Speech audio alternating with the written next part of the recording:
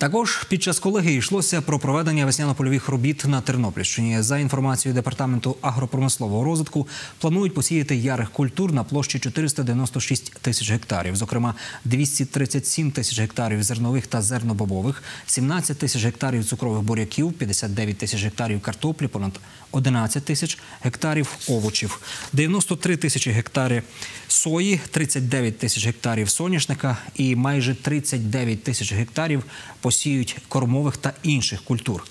Частину роботи вже виконали. Зокрема, станом на 23 березня засіяли більше 20 тисяч гектарів земель, а це 6% від запланованого.